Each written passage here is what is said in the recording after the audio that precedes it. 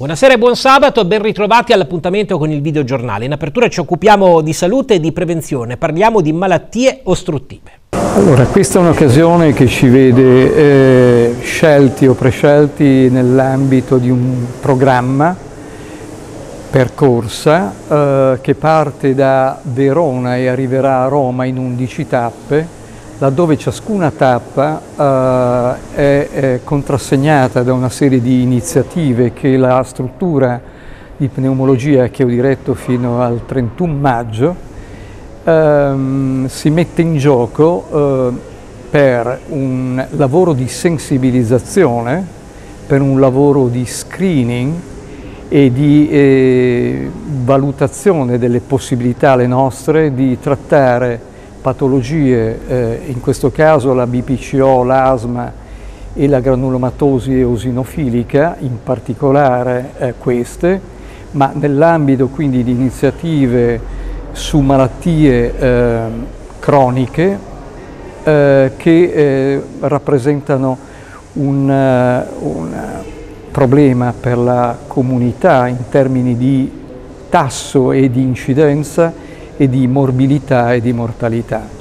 Queste, questa iniziativa è stata promossa dall'associazione Respiriamo Insieme, con la quale noi siamo gemellati da qualche anno, il cui presidente Simona Barbaglia, insieme ad altre associazioni, partnership e sponsor che hanno voluto questa iniziativa, è, l'artefice di questo desiderio di portare eh, l'osservazione e, le osservazioni che andremo a fare in ciascuna uh, città prescelta eh, a livello ministeriale per in qualche modo dare delle risposte attualmente inevase, eh, risposte in termini di eh, giusto inquadramento di patologia, ma soprattutto nel desiderio di farla e farle emergere perché spesso sono sottodiagnosticate e sottovalutate.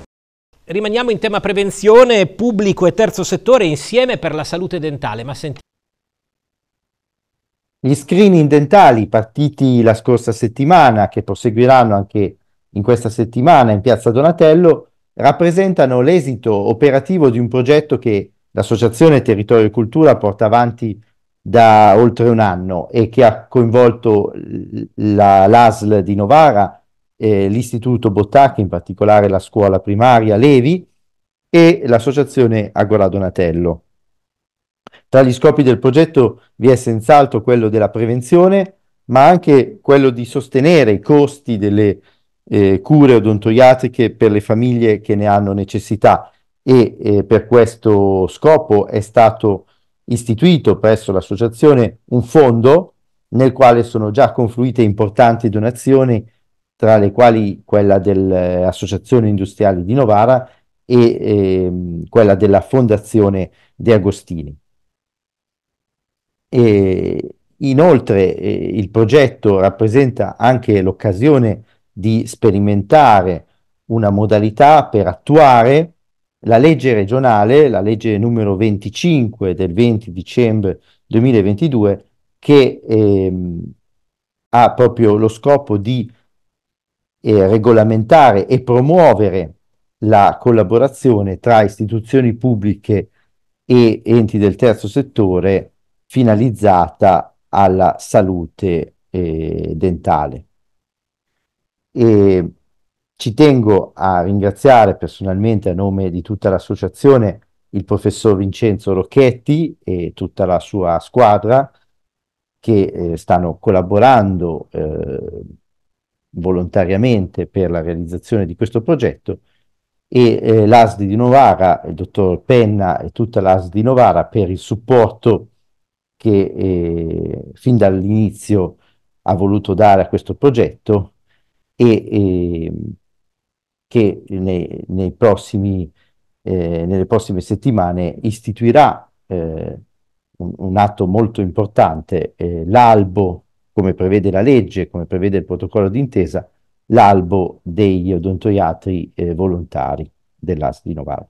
Ed ora andiamo a Vercelli dove domani ci sarà la cerimonia di interramento della Capsula del Tempo, un contenitore in cui ogni cittadino può inserire un proprio ricordo da riscoprire poi tra dieci anni, quando la capsula sarà riaperta. È arrivata la grande giornata della Capsula del Tempo di Vercelli. Domenica 30 giugno, appuntamento con la rete. Qui con noi il responsabile Maurizio Roccato. Allora, come funziona Maurizio? Il 30 giugno appunto con orario 9, 13, 14, 17 i volontari dell'associazione eh, riceveranno il pubblico che vorrà partecipare eh, portando la propria testimonianza scritta eh, al banco dell'accoglienza dove verrà ricevuta, registrata e eh, la, la, persona che eh, l'ha conferita potrà collocarla di, con la propria mano all'interno della capsula. Esattamente dov'è questo appuntamento? L'appuntamento sarà in via Francesco Barranca 89 dove già è stato allestito il necessario, è stato effettuato lo scavo negli scorsi giorni e depositato il pozzetto in cemento che ospiterà la capsula. Al termine della giornata, intorno alle ore 17, alla presenza di Carlo Olmo che gestisce la società sportiva che affitta il terreno di proprietà della provincia eh, e il presidente della provincia eh, Davide Geliartino presenteranno presenzieranno alla cerimonia di chiusura con uh, l'inno di Mameli e la partecipazione, speriamo, di, pubblico numeroso che ha voluto uh, assistere e partecipare al nostro evento. E quindi insomma per dieci anni si conserverà qualcosa che parlerà di questo tempo a Vercelli, nel 2034 lo riaprirete. Assolutamente, l'intenzione è di conservare la memoria di Vercelli, della città stessa, che in un momento di grandi cambiamenti eh, e anche quella personale, perché eh, vale la pena, soprattutto per chi è giovane, eh, rivedersi, ricordarsi tra una decina d'anni. Andiamo nell'abbazia di Lucedio, immersa nelle risaie tra Vercelli e Trino, dove è in corso un'interessante mostra di installazioni dell'artista Carla Crosio. Dal 20 giugno e fino a novembre sarà possibile visitare le installazioni realizzate dall'artista Carla Crosio nel progetto Dal buio verso la luce. Le visite, ehm, sottolineo, sono possibili in corrispondenza eh, delle date comunicate sul sito del Principato di Lucedio e della provincia di Vercelli. Con noi eh, Carla Crosio, artista eh, apprezzata e conosciuta a livello nazionale anche oltre, un'installazione un'installazione, anzi un'installazione che si articola su tre punti, Diffusa. assolutamente eh, di grande impatto aspetto, direi, emotivo e visivo.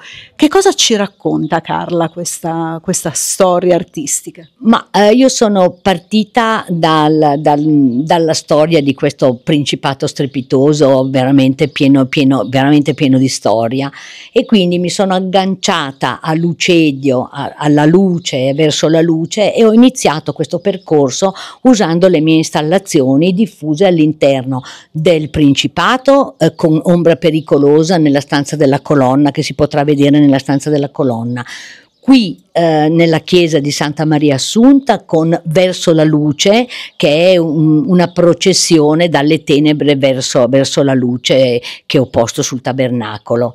E poi eh, penderà dal campanile ehm, un lavoro in lana, eh, lana policroma, che eh, titola appunto Umano Corpo Scarto. Quindi chi sale sul campanile sarà accompagnato dalla visione di questo eh, strano pezzo di corpo a, a, cui sinceramente non so dare una connotazione logica. C'è una raccolta di materiali, quindi un recupero di materiali e c'è anche insomma in questa, in questa installazione eh, un racconto di vite, no?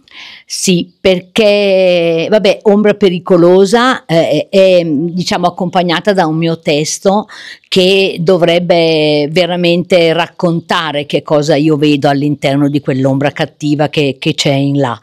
E qui invece partiamo appunto con uh, questi stracci che io ho trovato in alcuni porti italiani, che ho catramato ulteriormente esattamente come uh, si mettono que- questi catrami su- sulle barche che, che arrivano dei migranti. Ed ora, come ogni sabato, spazio al gusto, c'è QCAP, la rubrica curata da Jacopo Fontaneto. Ecco la ricetta gustosa di oggi. Io in questo momento sto facendo il tè secondo tradizionale il metodo cinese. Queste sono delle foglie di tè che ho raccolto in un campo che ho rigenerato, diciamo, in un terreno che si trova sul lago di Lugano. Era abbandonato ed era pieno di infestanti e ho cominciato a pulirlo e ho piantato una serie di cose tra cui la Camellia sinensis. Sul lago di Lugano, come sui laghi del nord, c'è un microclima particolare perché c'è una temperatura eh, mite anche d'inverno, quindi le temperature non scendono mai più o meno sotto lo zero. E, mm, e questo è il motivo per cui eh, sui laghi c'è una commistione di piante e soprattutto ci sono anche piante, delle piante esotiche che arrivano dai climi tropicali e che si sono adattate. C'è prima il momento della raccolta, quindi si raccolgono le prime tre foglie. Ora mi dispiace che siamo arrivati a questo punto in cui la foglia ormai è pressoché disidratata, però questa mattina questo wok era pieno di foglie verdi appena raccolte. Piano piano si passa da un primo processo che è quello che in gergo viene detto l'uccisione del verde, in cui la si fermano i processi di ossidazione e dopodiché c'è la parte in cui si dà la forma alla foglia. Un tè da campo, sì, nel senso che è un, eh, è un tè detto fatto, cioè sono state raccolte le foglie, è stata fatta la lavorazione, abbiamo ottenuto il tè e dopodiché lo abbiamo anche preparato e ce lo siamo bevuti direttamente qui. Abbiamo creato questo piccolo festival che incrocia il design con le strade del cibo e e le culture urbane, abbiamo invitato eh, tanti ospiti a raccontarci storie tra chi fa il tè in Ticino, a chi produce sidro in Piemonte, invitando i visitatori a provarli con noi, a fare questa esperienza e portando diciamo, questo parco, rigenerando questo piccolo parco che è un'oase felice, un po' nascosta, a rifiorire per un anno. Grano Saraceno per Guido Tommasi, editore, la storia di una pianta ma anche di una cultura e di una tradizione che ha incrociato quella dei territori alpini e in Italia della Valtellina in particolare, patria dei pizzoccheri. Coltivazione, ricette e curiosità nel volume scritto da Bertrand Larcher. Eleonora Pelli Postizzi firma per i tipi di Gribaudo editore Cuciniamo ricetti per tutti i gusti e le età, dai waffle al caramello e burro salato ai panini al latte, poi ovviamente alla pasta, non solo un ricettario per bambini ma per tutti dagli 0 ai 99 anni, con ricette semplici da realizzare e idee operative anche per i ragazzi che vogliono preparare il pranzo da soli o che si divertono a cucinare per amici e parenti. È tutto, la linea Weekend Sport, grazie per essere stati con noi, buona serata con i nostri programmi.